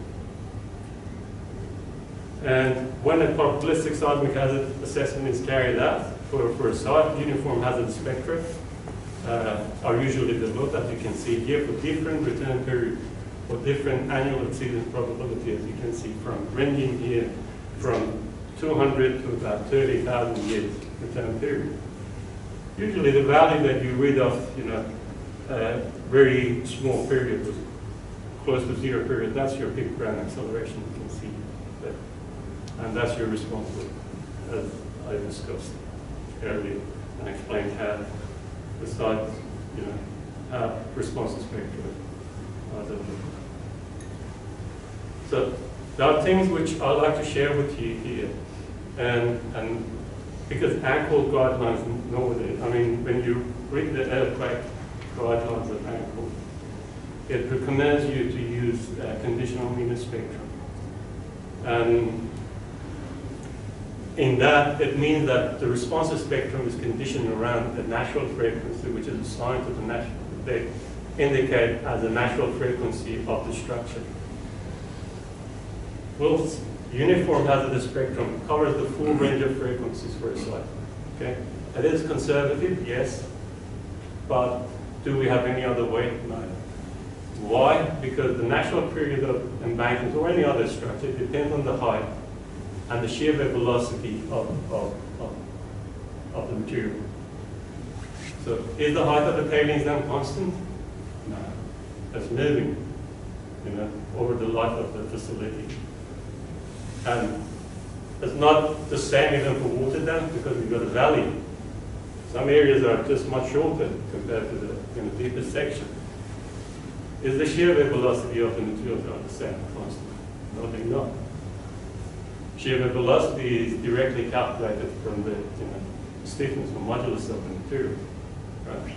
And we know that shear wave velocity increases with confining stresses, but that's not constant either. So in, in the right-hand picture, you can see that on vertical is basically a spectral acceleration versus the period or frequency, which is one over period. And the black line there shows you the uniform hazard response spectrum. And these are the conditional mean spectrum with different uh, frequencies. And you can see it all sitting well below that. So that's why we recommend not using know, conditional mean spectrum for your design. How, you, how this is you know, used in the design is time histories are produced from the responsive spectrum that you've seen in the previous pages for your design earthquake. For example, if you have a 10,000 year return period for design earthquake, use the spectrum for the 10,000 year return period of 1 in 10,000 annual exceedance probability. there are two methods to work at your you know, time history. Uh, acceleration time history or velocity or displacement time history. One is called spectral matching. And one method is a, a spectral you know, scaling. And this method, so they, they look at, you know, seismologists, I'm not a seismologist, I learned all of this from our internal seismologists in, our, in our company. So they look at the catalog, earthquake catalog, work out the response spectrum for so many earthquakes, the one which are closer to the shape of this, okay? And then they come and match it, factor it with different factors at different points to get a close fit like that. What's with the scaling, if this is your design spectrum, they only scale it up to a point, only one constant, you know, factor, scaling it up, which is at the natural frequency of the structure, supposedly. As I explained, that's not uh, one number. And you can see you can't really get, you know, a close fit. But the good thing about this part is that these are actual earthquakes. No changes in the characteristics of the earthquake, phases or whatever. And this one, although we get a very good close fit, the actual earthquake is pretty much distorted. Things happening at different timing. But the load is there. Our recommendation is pretty much using the spectral matching for the, for the purpose of the work that we do in Australia because the earthquake loads are pretty small anyway in general. Um, and matching, it gives you uh, the option of having less earthquake analyzed, especially if you have you know, big months. You have your time history now. You see how much uncertainty could go into what has been produced at this time. Now you need that to, what that produced is, is rock earthquake motion. That time history is out to that point. That's what seismologists produce for you. What you really need to put into your numerical model is, is what needs to go, the base of this. What you need in your liquefaction assessment or the formation analysis is, is the acceleration profile within this deposit or the surface, you know, if you're using one of those conventional methods for liquefaction assessment, which none of this is the same as that. So if you get the PGA out of this and apply it to your model, then it, it's not true because that can, you know, amplify to get to that point, can de-amplify. What you measured here is not the same as that. That's why this needs to be deconvoluted to get that motion there. And then propagated through the profile to get the acceleration at the top of the ground. I had a nice program here share with you and hopefully it works. to clearly example, to, clearly show that what we mean here. This program has been developed by Professor Ar Arnold Bruce at Delft University, passed away last year. A pretty small program, okay? It's a program to determine the response of a linear elastic soil layer uh, with, with hysterically damping to a harmonic-based motion. So what you really need for that, let me just use my, is this working or?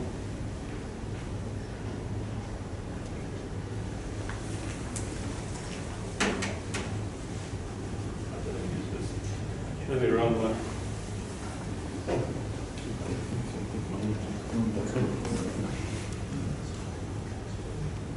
Anyway, let, let me explain the program, then I'll show it to you. So what it requires is the period of the input motion. Can you see my screen? I think it's there. With the laser pointer, maybe that's easier. That's it.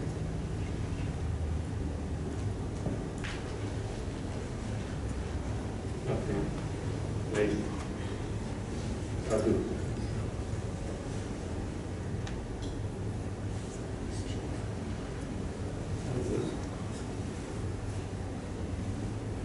Okay. What it requires is, is the period of that harmonic uh, input motion, which means the constant in the period. And the thickness of the soil layer is, is h. And C is the shear velocity of, of the material, the soil. Zeta is, is the soil damping, and D is the equivalent, you know, depth of, you know, soil for a certain load, which we're not going to use that anyway here. This is the formula to calculate the natural frequency, the fundamental frequency of, or fundamental period of a rectangular profile or a uh, horizontally spread I just want to run this program for you, but let me see if I can get much luck with this.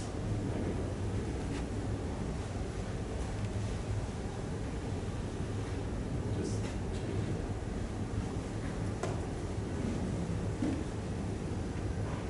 Where is that?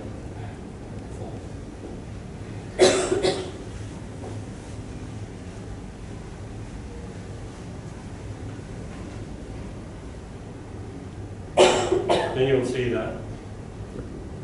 Okay.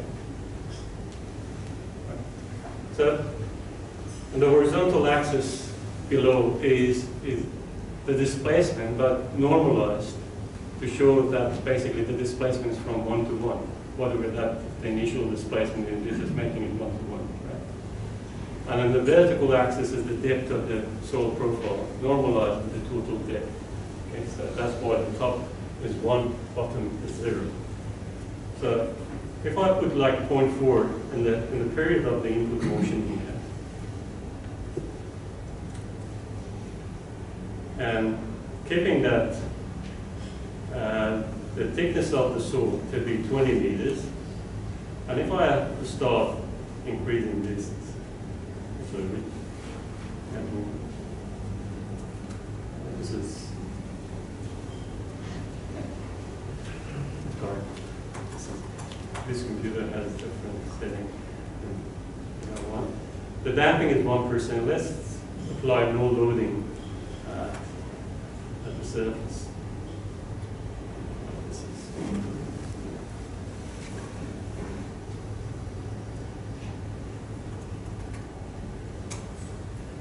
So you can see that you, you don't get much amplification.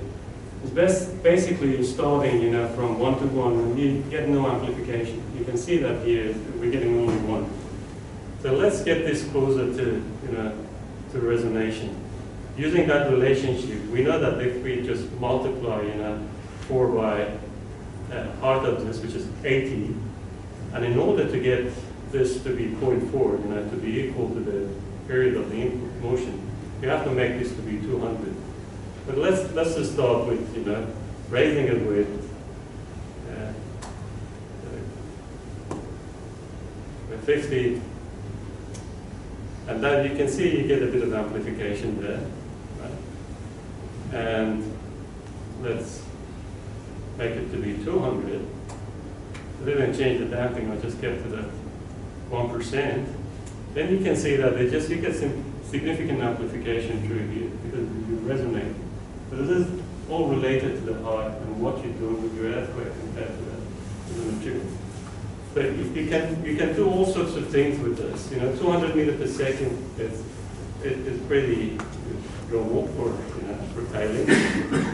if you go with the with the material which you know pretty, let's go to again to 100. We can easily damp this if we just go with the damping. 5% damping can reduce it. We can damp this you know, as much as we want. If we make this to be very, speed, make this to be 500. This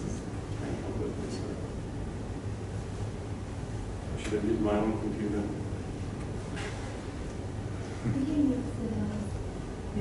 Mass doesn't work. Ah, yeah. I just want to, essentially saying this material is very stiff. It's just whatever that you apply to the base, it, it just applies to the top. So all I'm just trying to present here is that this is just the loading part of the seismic analysis that you need. Imagine the number of uncertainties you're putting into this part, you know, from seismic analysis to the convolution of the load to where you're just putting it into place and, and what it can have. But going back to where we were, I don't want to just spend more time on this, but that's to show you that how the, you know, the period of the, you know, this is just for horizontal, you know, rectangular shaped material. When we go to triangular shape, different relations should, should be used, okay? And our, this is only for the first, you know, this is for the fundamental period and, first mode of vibration. Okay? So, so much into this. And, and if you want to do it properly for, for a material, then, then you just have to, for, for a soil, then you, you should know that the modulus of the soil, that the soil behavior is non-linear. The modulus shear and velocity changes with the shear strength. So during the earthquake, even the period is changing. So you, can you can use this method, which is you know devised by you know, and to do that, that simplified analysis and work at the the first three natural periods of, of an embankment, a triangular shaped embankment. So when you're selecting the critical embankment section for stability and seismic analysis, this is important. So obviously, you use the, you select the maximum height because your stresses are pretty high. The, the height you adding to the stresses. Always you select the sections with unfavorable foundation conditions, or if you have problems in the embankment material or zoning or whatever cracking. That's what you have to always use that section. The other section that you need to be analyzing, based on what I explained to you, you know, with the QUAKE program and, and how, you know, the frequency content of the earthquake compared to the natural frequency of that section, it can cause amplification. You may get more deformation in section which is shorter than the one which is you know, taller, assembly. And you need to be finding these out before you're just jumping into full numerical analysis. Of that. So this is a pretty, you know, uh, simple example. One of the work that I, one of the early works that I've done in, in 2004 for a dam which was about 180 meters in seismic region. And, and we've done several, you know, sensitivities using software SHAKE. We got software can do, you know, response analysis for software very simply, and using, you know, seed method to, to work out what gives us the maximum deformation, what gives us the maximum, you know, press acceleration. And in order, and we've done that with very simple, very simple uh, analysis. So looking at different earthquakes, embankment height ranging, you know, this is a tailings dam to start at 70 meters high, the start embankment, and getting to 180 meters at the end of mine life. You would think, okay, 180 meters is going to give me the maximum, maximum deformation, maximum acceleration. No, that's not true. Compared with, with where you, you're getting that, you know, the maximum displacement. This is one way of just finding out which section that you need to be analyzed with geometry if you're doing it in the analysis. So these are the recommendations, I'm almost finished. And so the uniform hazard response spectrum, you know, they're, they're usually a full range, so we just highly recommend them. Uh, because they just, although they're providing an upper band, I think it should be used. And I believe that ANCOLD guidelines need to be modified because at the moment, what is you know indicated in their research. In terms of spectral matching or scaling, they may be effectively used either way. Uh, with spectral matching for areas of low seismicity like Australia, recommended. And dynamic response analysis definitely a must for any site that you're going to because you don't know the depth of the soil thickness. What you're getting from seismologists is, the rock outcrop. And you need to be turning that into the uh, shear stress profile or acceleration profile within the within the deposit or within the dam. And you can simply use some you know, simplified you know, dynamic analysis as a precursor to effectively identify the most critical embankment heights for liquefaction analysis or for more complex nonlinear the formation analysis, which is like, that's all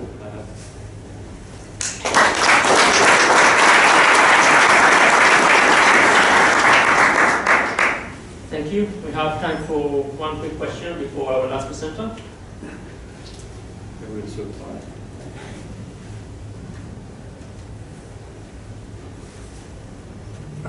Well, I've got a question. Yes, please.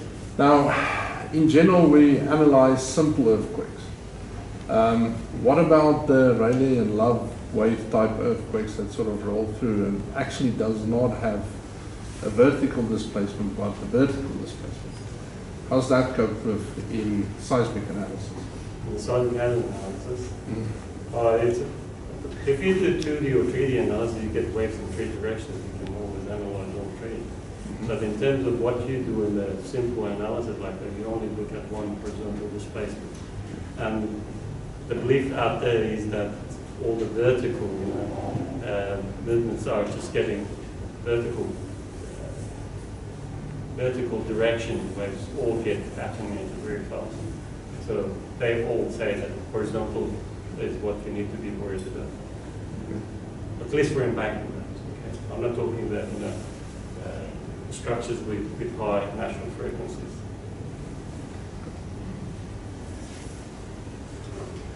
Others, Is it uh, the uniform um, response spectrum will give you uh, more consulting outcome than the In terms of the earthquake road, yes. I think that's what you, that's the question. It gives you more concern. Upper band, because it just integrates all of those seismic hazards for a site and, and, and all natural frequencies and everything. That's why it just provides an upper band. Some people say that's too conservative, I'm not going to use that. Maybe that's a way for some sites, you know, when you're looking at high seismicity area. Uh, I wouldn't really worry about it in Australia. We don't have high earthquakes here. Okay, thank you very much.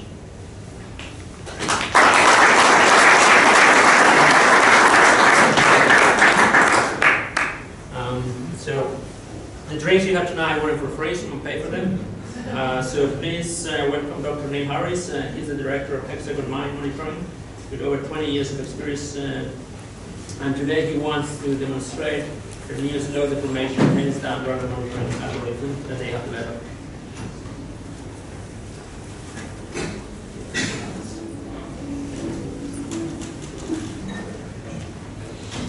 Yeah, please uh, welcome Dr. Harris.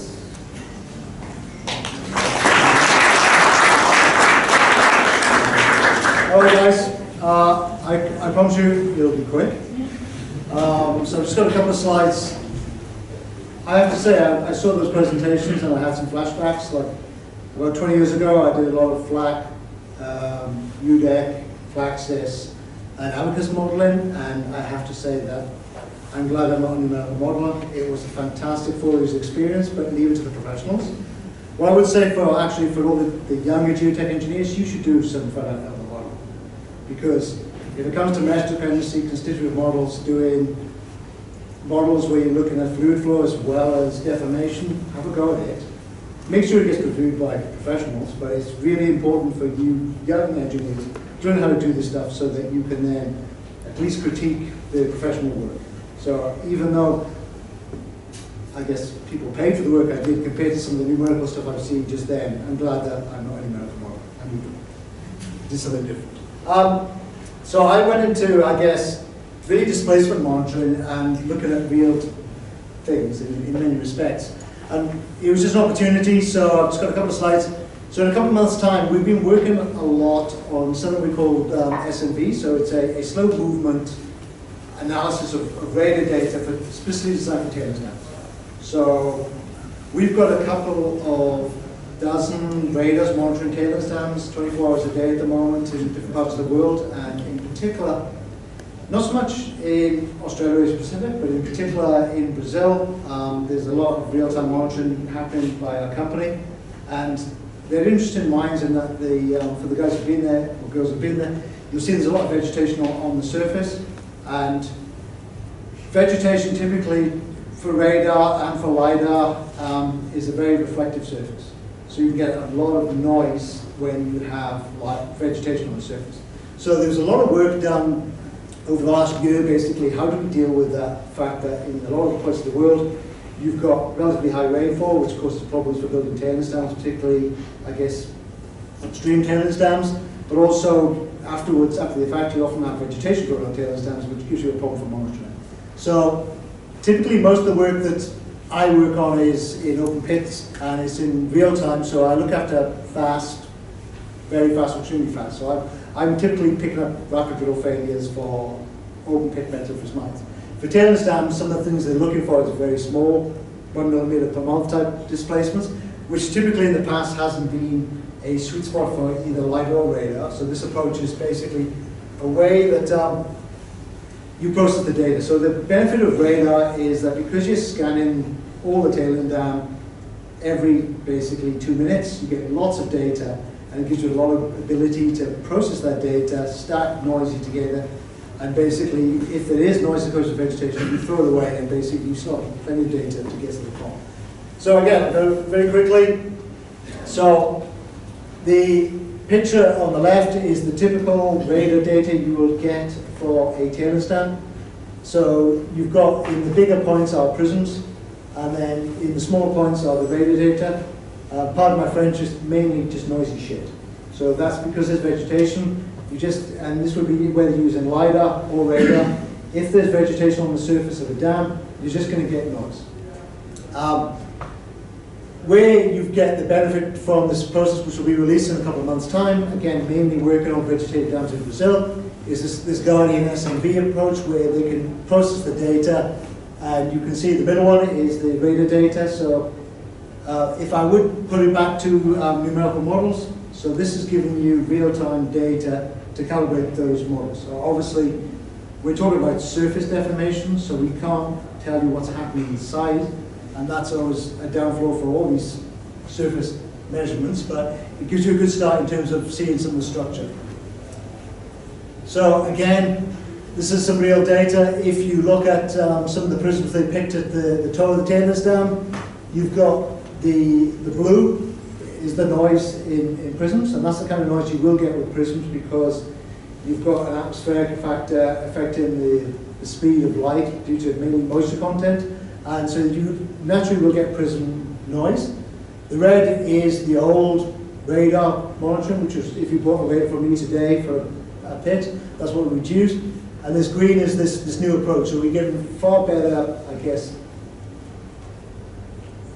matches to what we're seeing with prisms. Uh, at the moment, a combination of GNSS monitoring, so satellite uh, GPS monitoring and prisms are really the de facto sort of standards we're using to calibrate it. And that's really it. I've got one last slide, and um, this is really my idea of what I've seen with radar monitoring. As I said, we do have a couple of dozen radar monitoring real-time uh, tailings dams around the world. There's none that we are currently doing in my group in, in Australia or Asia Pacific. Um, and, but that's not saying that we don't do monitoring. We do monitoring using tilt meters, with prism meters, and with um, GNSS. So I think um, there is a role for radar, and if everybody, anybody has the budget, I, as a businessman, I'm happy to sell you radars because they're very expensive. But as a geotech engineer, because I'm a geotech engineer, I think in most applications for tailings dam, particularly in Australia, if it's dry and a well-designed tailings dam, you probably don't need radar. Where I think radar has its role is when there's operational real-time monitoring of critical hazards, so that's probably some of the stuff we've seen in Brazil. Um, monitoring to failure, recovery, or lift development, so we have done some monitoring in Australia where there's been a failure, and they in a radar to basically monitor the, I guess, the rehabilitation of that failure to make sure it's safe for the guys working under that failure. Um, lift development, so the next lift, again, because you can, you're measuring in real time every couple of minutes what's happening, it gives the geotech engineers on site some level of confidence that they know what's going on.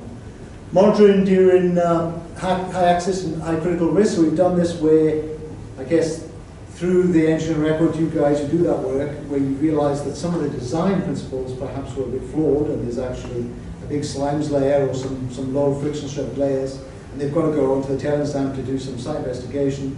Because they're concerned, they wanted a degree of confidence of having some real-time risk management with some radar monitoring to basically make sure that they're safe for that period of a couple of weeks while they do the site investigation.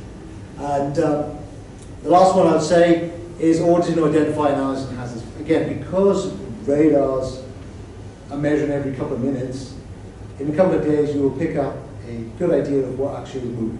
And it might be that because the cost is too prohibitive to have a real-time radar there, although some situations it, it makes sense, but from a couple of days of monitoring, it will tell you where your hazards are, what's moving, and then you might do standard tilt meters or, or prisms or lower cost options, or even just identify those are the areas of the tail stand that you are getting movements today, and when you guys are doing their site investigations, the engineering records, that's the places where they measurements. And take their photographs and all that. And it's been a long evening, I think that's it. Thank you.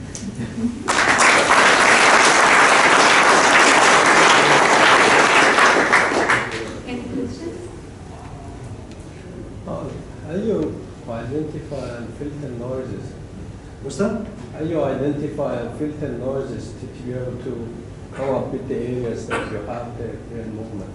Um, so how the algorithm works for vegetation, I couldn't tell you. I'll have to point you to the guys who, did the work.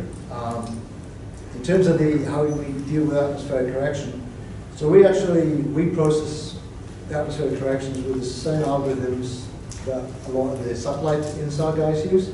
So a lot of it comes from the University of Milan, and basically, if you can process atmospheric corrections from 10, 50 kilometers over high satellites fly, not sure. Then we- we're doing a similar thing typically in, up to ranges of about five kilometers.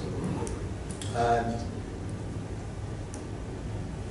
if I get this correct, so if you look at real-time um, displacements on, on whether it's tail dams or open pits, they tend to be correlated um, temporally. So if someone is moving five millimeters uh, per day today, they'll probably be moving about five millimeters a day tomorrow. Whereas atmospheric corrections are correlated spatially. So if there's a bit cold mass of, wa- of wet or storm comes in, you'll see a, a, um, a spatial effect over the data. And by doing some complicated mathematics, which frankly I don't understand, you can basically calculate what is real movement and what's not real movement. Thanks. Yes. I was wondering if this, you know, the radar system has ever picked up something that before failure, not necessarily post-mortem, but just picking up things. Because a lot of things, it has predicted, been successful in predicting something which is happening and they stopped it. Have you got any example of that? Because all I see is just basically everything that happened afterwards. And a lot of, you know, filtering and everything goes into it to show that that area moved previously. Um, I haven't got a huge amount of experience with, with tail stems because in Australia we mainly do it open pits. And certainly we've evacuated and taken people out dozens and dozens of times. So for open pit stability, 100%. And so people basically will use approaches like inverse velocity, where if you look at the velocity to the inverse, you can predict time of collapse. And I analyzed a lot of data and did that, and I was surprised how well it works. For tailings dams, I've seen some uh, some failures they predicted a couple of days before, but they were, they were not like a complete tailings dam collapse. They were individual bench failures. I haven't seen anything on a, on an individual or a whole tailings dam collapse. Thank you. So for some of these, um, ones like almost emergency access, how long does it take to deploy and then kind of get the baseline data you would need to be able to evaluate like critical Sure. access? Um, if you're looking at um, brittle failures, you're talking about that- complicated atmospheric algorithm that is used the satellite tends to need 50, um, to work correctly, it needs 50 scans. So if you're talking about um, two minute scan times, you're talking about 100 minutes. So it- what I would suggest is you can put that thing in there, but you can't rely on the information for the first two hours.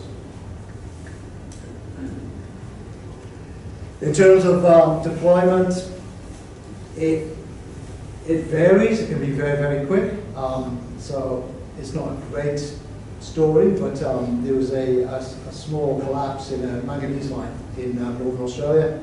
And they didn't have any monitoring, but unfortunately the wall collapsed and um, caused a fatality. And they called us up and basically they wanted help to recover the body. And we basically just flew up the system and basically it was running within the first two hours. So we just got a site. We said we haven't got time to, to fly one up with power because we have some power options. They provided a lightning plant, we plugged it in and basically started monitoring and got some reliable data for about two or three hours. But as I said, as a geotech engineer, I see a lot of tailings dams, particularly in Australia, because they're well made and, and more importantly, it's a very dry place. Radars are not.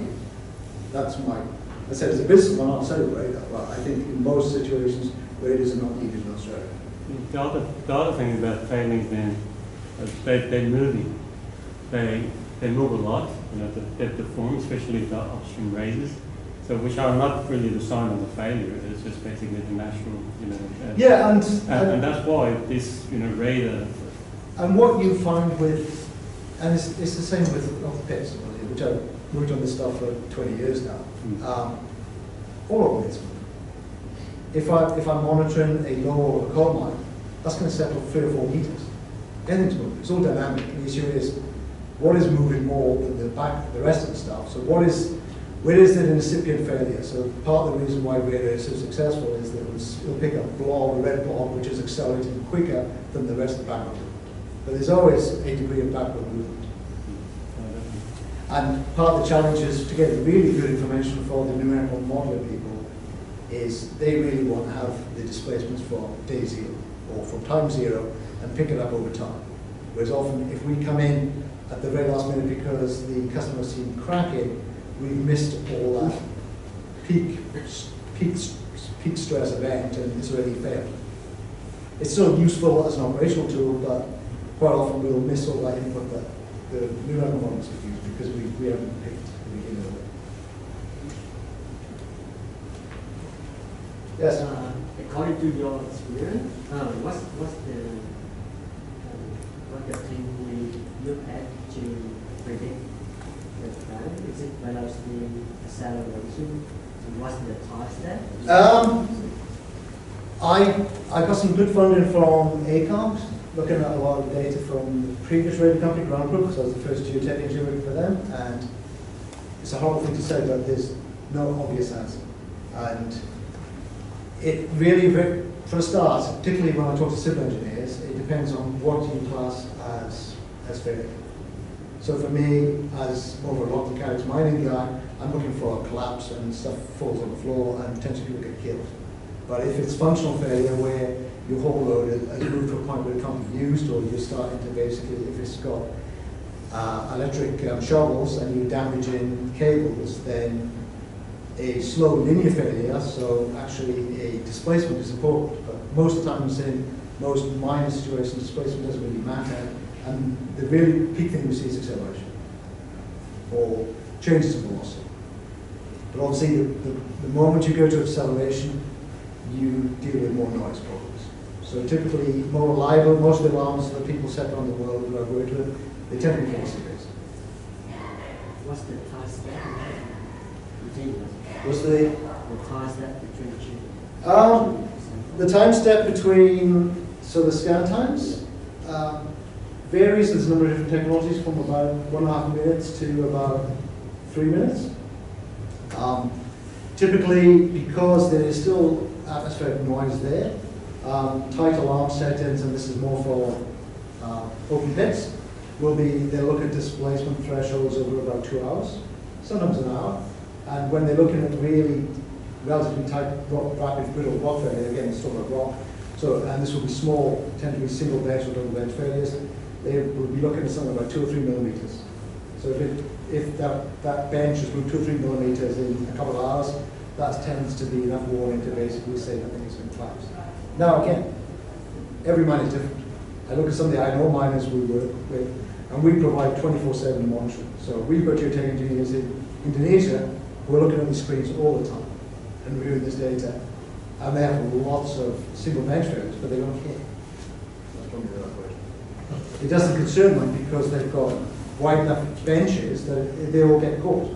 So no material ends up down in where the working environment is. So again, particularly the guys from a civil background, you know, the idea that you, you, you're designing benches for factor safety of 0.95 because they should fail. You know, if your benches don't fail, then you're being far too conservative and you've lost a lot of money. So failure is okay, and that's where it's certainly a minor open pit mechanics, obviously, unless some tails down failure is probably not okay. But for bench scale failure, failure is fine and you should embrace it. It's how do you manage that? And this isn't the answer, but it's one of the tools that helps develop it.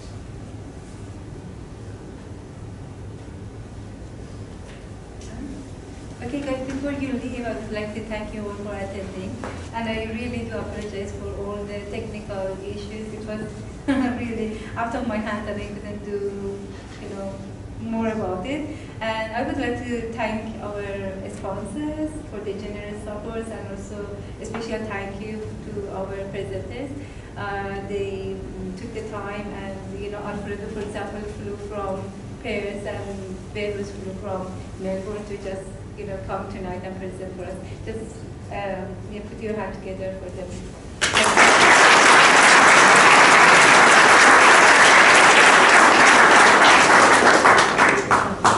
And thanks Kathy for organizing. She always like uh, organizes these events and producing her own time. So yeah, please thank you.